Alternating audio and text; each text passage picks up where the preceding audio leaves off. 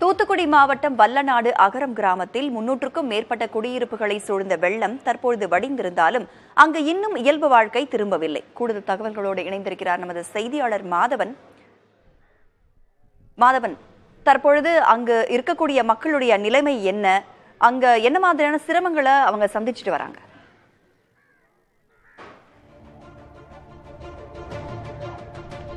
தூத்துக்குடி நெல்லை மாவட்டத்தில் பெய்த அந்த கனமழையின் காரணமாக தூத்துக்குடி மாவட்டத்தில் வல்லநாடுக்கு அருகில் உள்ள அகரம் என்ற பகுதி ஒரு தனி தீவாக தான் காட்சி காட்சிப்படுத்தப்பட்டுள்ளது. ஏன்னா தனி தீவாக துண்டிக்கப்பட்டிருக்கு. ஏன்னா தூத்துக்குடியிலிருந்து நெல்லை போகக்கூடிய அந்த சாலை அந்த சாலையிலிருந்து உள்ள வ- வல்லநாடுக்கு அருகில் உள்ள கிராமம் தான் அகரங்கிற கிராமம். இங்கே முந்நூறுக்கும் மேற்பட்ட குடும்பங்கள் வாழ்ந்து வருகிற முந்நூறு குடும்பம் இருக்குது கிட்டத்தட்ட ஆயிரத்திற்கும் மேற்பட்ட மக்கள் வாழ்ந்து வருகிறாங்க.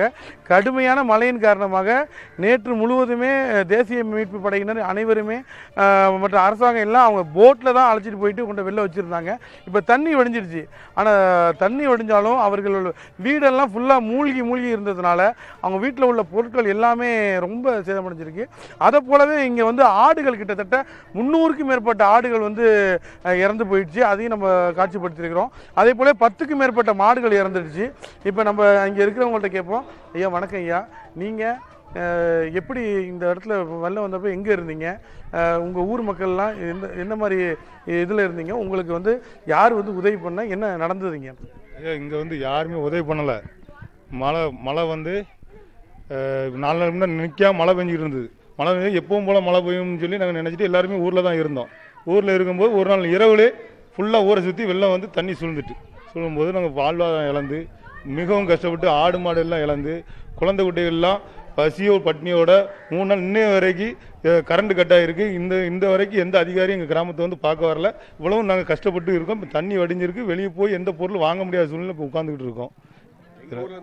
ஆமாம் நேற்று உங்கள் ஊரில் வந்து போட்டில் வந்து என்டிஆர்எஃப் இது மீட்பு படையெல்லாம் வந்து போயிட்டு இருந்தாங்க. அவங்க வந்து நிறைய பேர் ரெஸ்கியூ பண்ணி ஒன்று வச்சுருந்தாங்க. இப்போ தண்ணி வடிஞ்சிருச்சு. வடிஞ்ச பிறகு உங்களுக்கு எப்படி இருக்குது இந்த சூழல் எப்படி இருக்குது உங்களுக்கு என்ன மாதிரி டிமாண்ட் என்ன மாதிரி கேட்குறீங்க ஏன்னா விவசாயத்தை நம்பி தான் எங்கள் கிராமம் இருக்குது விவசாயத்தை நம்பி தான் வாழ்வாதாரம் ஆடு மாடு விவசாயம். அது போக எங்கள் கிராமத்துல இருந்தால் ஒரு மூணு மாவட்டத்துக்கு தண்ணீர் சப்ளை பண்ணிக்கிட்டு இருக்கோம். எங்கள் மா எங்கள் எங்கள் கிராமத்தில் அகரம் கிராமத்தில் இருந்து. அதனால் நாங்களே இன்றைக்கி கரண்ட் கட் ஆகி வாழ்வாதாரம் விவசாயம் இழந்து நிற்கும் இது கவர்மெண்ட் வந்து ஒரு கவனத்தில் முதலமைச்சர் கவனத்துக்கு கொண்டு போய் எங்கள் கிராமத்துக்கு முற்றிலும் காப்பாற்றணும் சொல்கிறத கேட்போம். அவங்க வந்து த மழை வெள்ளம் சூழ்ந்து வீடுகள்லாம் மூழ்கினதுனால பல்வேறு விதமான மின்சாதன பொருட்கள் ப- பல பொருட்கள் வீணடைஞ்சிட்டணும் ஆடு மாடுகள் இறந்துட்டணும் அதையெல்லாம் அரசாங்கம் வந்து உரிய கணக்கெடுப்பு நடத்தி அவங்களுக்கு தேவையானதை செஞ்சு கொடுக்கணும் அப்படின்னு கேட்டிருக்காங்க.